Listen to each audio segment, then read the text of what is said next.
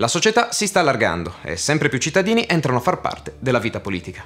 Ma è un errore pensare alla società di massa come ad un ambiente totalmente democratico. Ma per il cittadino di fine Ottocento, che ha studiato nelle scuole pubbliche, che ha servito il proprio paese sotto le armi e che è infine politicamente maturo, il diritto di voto non è più un'opzione, è un obbligo.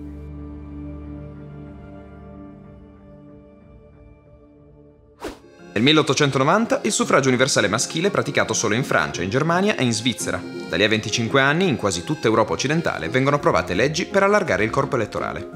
La totalità o la stragrande maggioranza dei cittadini maschi maggiorenni riceve il diritto di voto, in molti casi senza interesse per il censo. La divisione censitaria è un modo per mantenere un controllo politico sulle masse povere. Niente soldi, niente voto. Nel 1890 il suffragio universale maschile è introdotto in Spagna, nel 1893 in Belgio, nel 1898 in Norvegia, nel 1907 in Austria e nel Granducato di Finlandia, nel 1912 in Italia, mentre per altri stati europei come Inghilterra e Olanda bisognerà aspettare la fine della Prima Guerra Mondiale. Con tutti questi nuovi votanti, le organizzazioni politiche devono cambiare per poter sopravvivere. Nascono i partiti di massa. Il primo grande partito di massa si può riconoscere nel Partito Socialdemocratico tedesco. Questo è basato su un insieme di organizzazioni locali, federazioni o sezioni, con a capo un solo centro dirigente a cui tutte le sezioni rispondono per organizzarsi. Ed è in questo periodo che le organizzazioni sindacali esplodono. La nuova coscienza dei lavoratori, grazie alla forza del movimento socialista, si tramuta in azione. Negli ultimi anni dell'Ottocento i sindacati inglesi, le trade unions, contavano già un milione e mezzo di iscritti. In altri paesi i nuovi sindacati si federano a livello nazionale.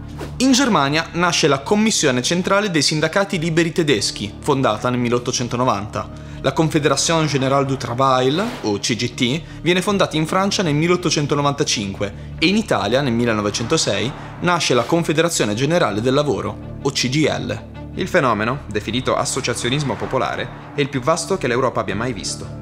Nel 1914 sono iscritti ai sindacati 4 milioni di lavoratori in Gran Bretagna, 3 milioni in Germania, 2 milioni in Francia e mezzo milione in Italia.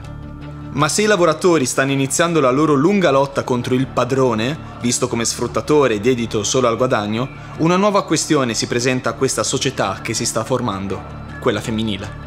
Nonostante i primi movimenti di emancipazione femminile risalgano alla rivoluzione francese, alla rivoluzione industriale inglese, Dall'epoca ben poco era stato fatto per migliorare la condizione della donna nella società.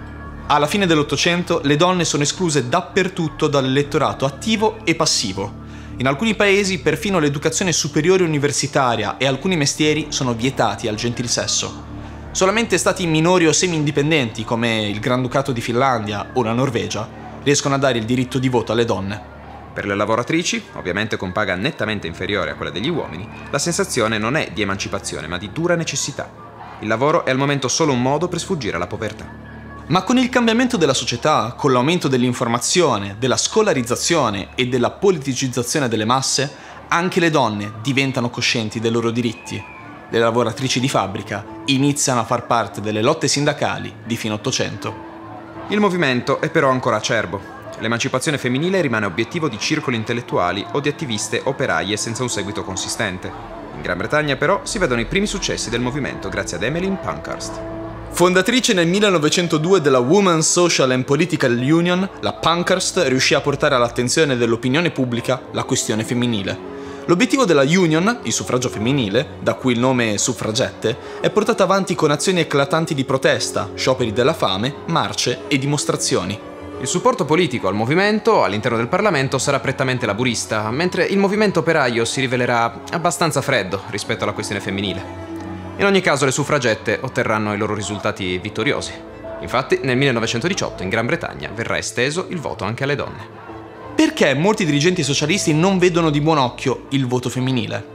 Alcuni temono che le donne avrebbero votato partiti più centristi o di stampo cattolico, altri vedono nel ritorno tra le mura di casa la naturale soluzione alla questione femminile.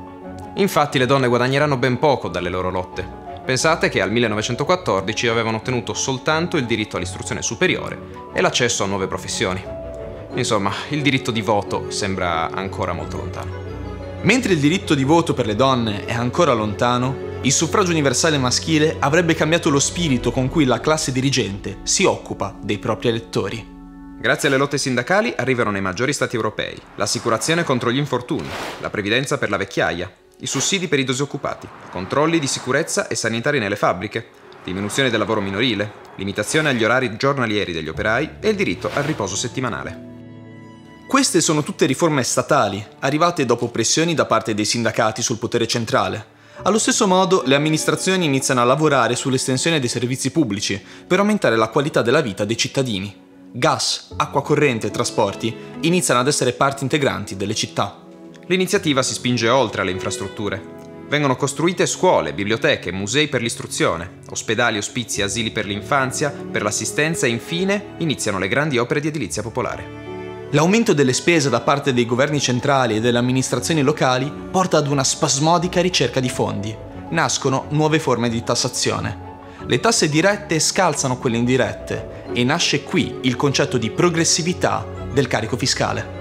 Il concetto di tassa progressiva è molto importante.